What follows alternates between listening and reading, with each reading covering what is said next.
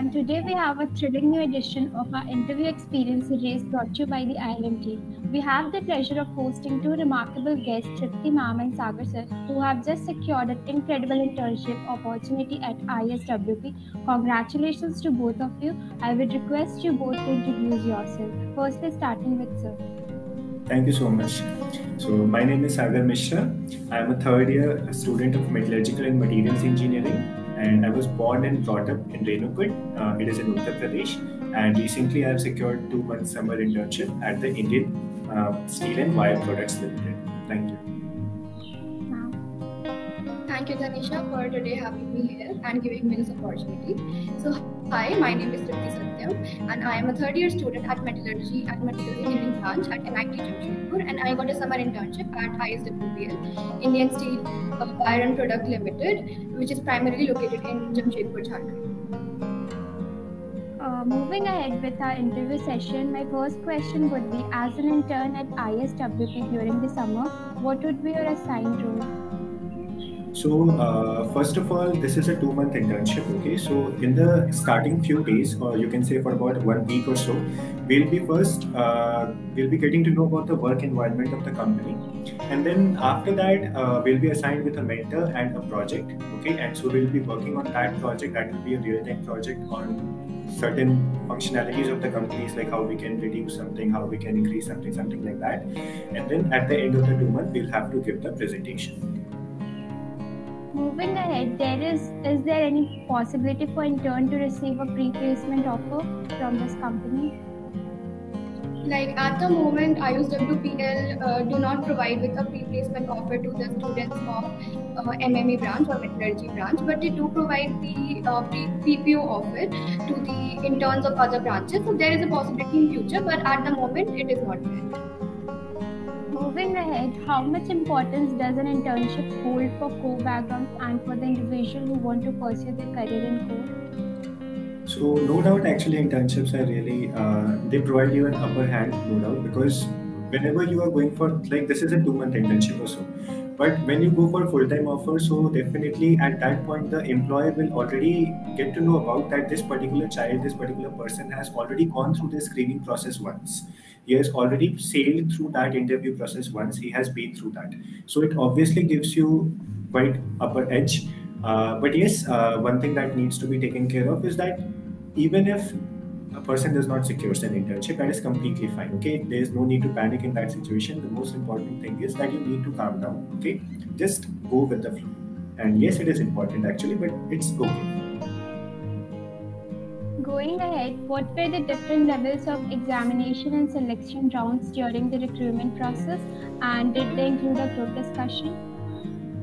Okay, so first of all, we went through like a CV shortlisting, and after that, a pre-placement talk was held.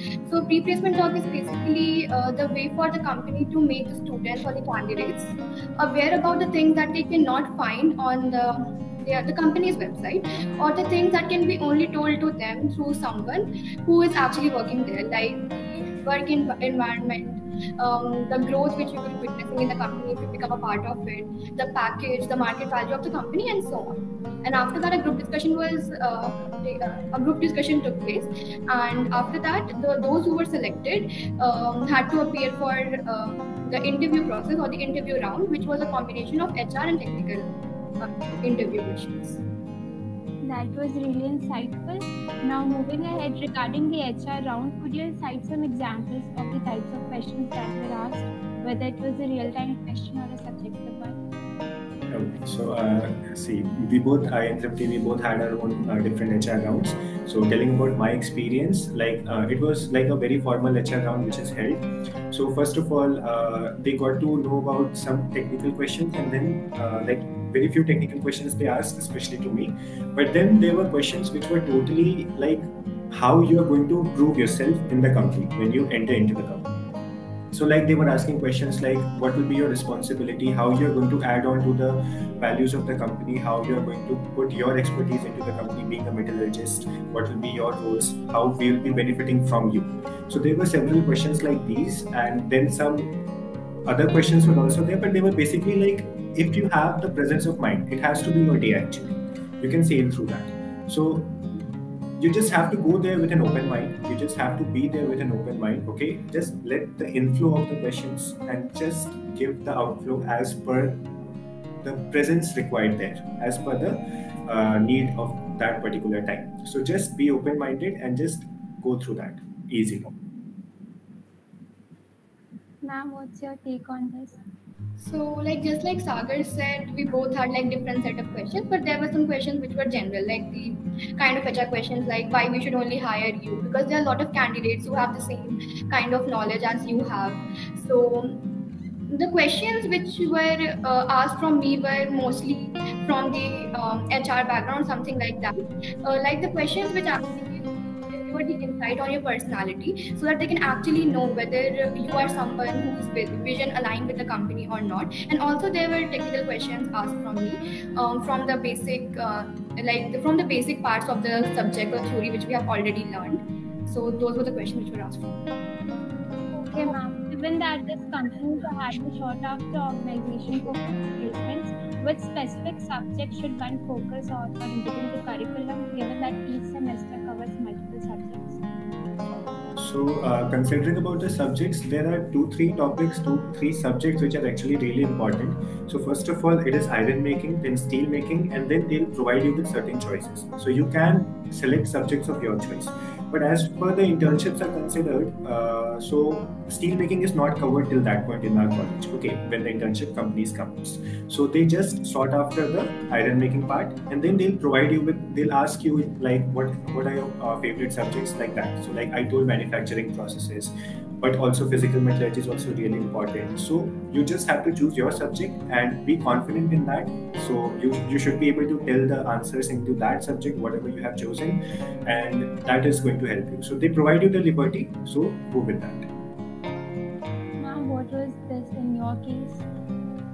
Okay, so um, according to me, like in my point of view, for any company, uh, any core company that you are sitting for, or like appearing for the internship or even placement, you must like research about that company, that what they actually does, because the company is most probably going to ask you the questions um, from the subjects which, uh, like from which their subject, from which their work is related. Like in the case of ISWPL, like they manufacture TMT rods, pipes, and stuff like that. So they are most probably going to ask you the questions from uh, manufacturing processes like the subject which we had in like fifth semester. And like um, we like they are making these rods from like big big slabs.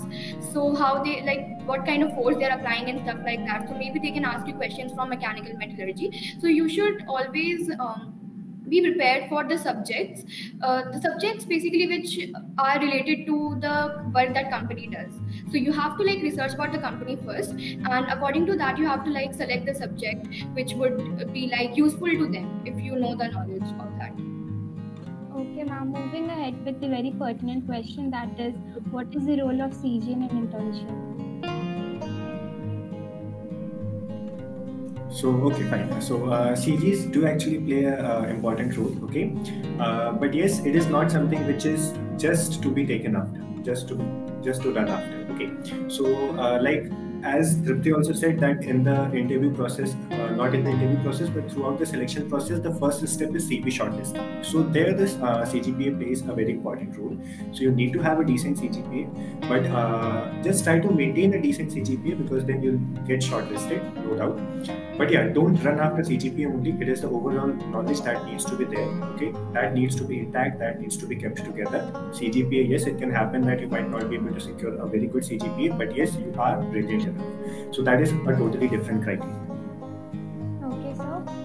Okay, subjects were the basis of the technical round question during the selection process?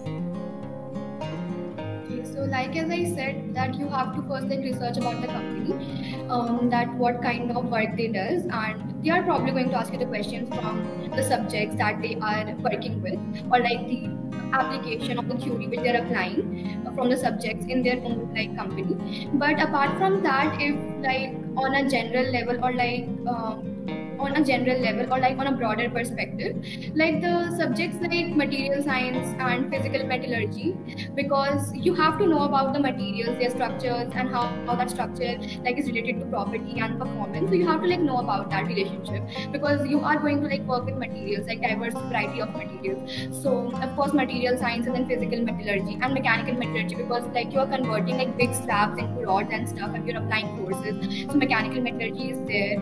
And of course heat treatment you uh, you have to know like even if you don't cover like these subjects in like depth you ha- at least you should know like a bit of basics so that even if they ask you uh, like um, randomly something which you have not expected still you can answer at least something. And then of course as sagar said previously that iron making and steel making is like some of the most important subjects that we metallurgists must know. And apart from that like a bit of manufacturing process um, should you should also know like about casting and um, forging and stuff like that.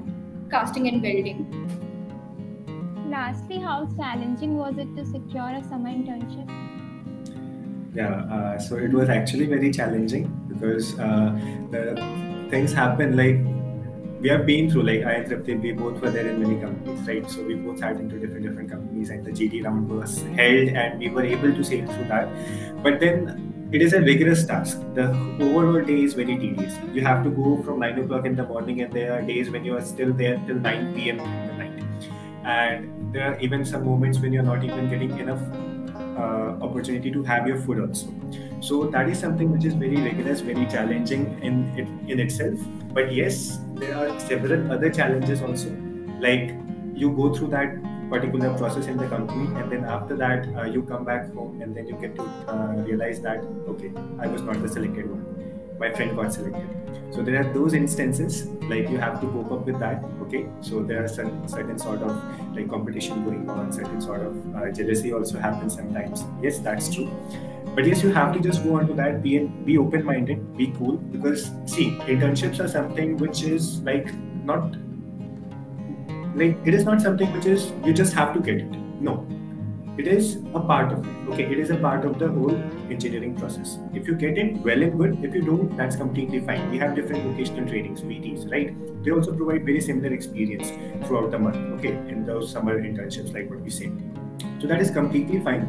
But yes it is challenging no doubt. You have to be there you have to go through several you have to face rejections you have to go through the failures a lot of time before getting into it. But yes be open minded that's it That is really a motivating answer. Moving ahead, do you have any suggestions for upcoming juniors who will be participating in the intern selection process soon?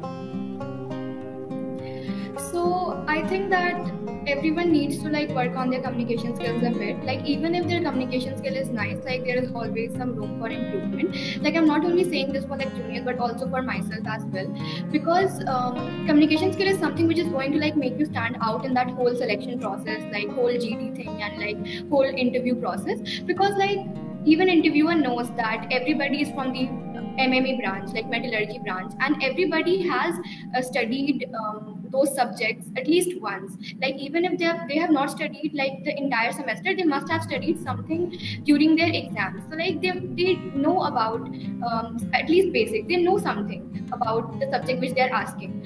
So they all even the interviewers know that thing that everyone knows uh, about the code.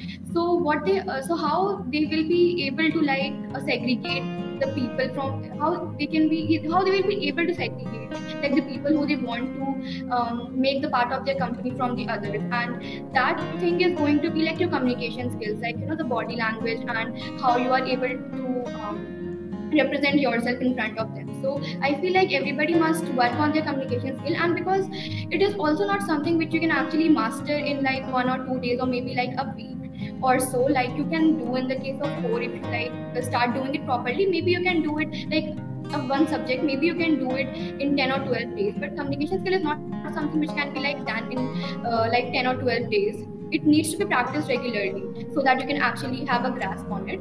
So i think that um, communication skill is something which everyone needs to work on uh, so that they can be um, so that they can appear nicely in gd and also in the interview rounds. Wrapping up this interview with the last question that is, what were the resources that you guys relied on for your internship preparation? So uh, basically, as we already told you about, like there are certain uh, topics, certain subjects that are generally asked because the companies that come in the core sector they mostly rely on their of iron or uh, iron making, steel making, or something like some aluminium companies, but they don't offer internships as of now uh, to us. So iron making, like we have a, a really important NPTEL lectures are also available, and a course book is also available there. So you can go on to that. Okay, that that will really help you out and then after that for uh, manufacturing processes and physical metallurgy like the thing is that you don't have to put yourself through a lot you just have to be whatever you're getting it you just have to be clear with that okay just the basics are also quite enough so they don't ask you about too much. No there are very few companies that go into very detail but they want to just know about the uh, uh overall perspective that you have of the subject that you have of the topic and that is going to they'll judge you from that. And then they'll mold you according to their requirement according to how they want you in their company. So that is something that they'll mold you according to that. So just be open minded just be open to change. Just be open. Just calm down throughout the process okay? As Tripti also said communication is really important because that is going to help you in every perspective of your life in every aspect but yes the in my opinion uh, what in the previous question that you asked that what would be your advice my advice would be just calm down just go with the flow, just calm down, and whatever happens, let that happen, but take it in a very positive way. That was it. With this, we come to an end of our interview session. The entire discussion was really engaging and informative. Thank you, sir and ma'am, for the devoting time from Mr. Busman's schedule. And on the behalf of entire ILM team, we extend our heartfelt congratulations to you and every success in your future endeavors. Thank you, ma'am and thank you, sir. And to all the viewers out there, do subscribe to our channel and stay tuned for such informative videos. Thank you, Tanisha. Thank you, Tanisha. Música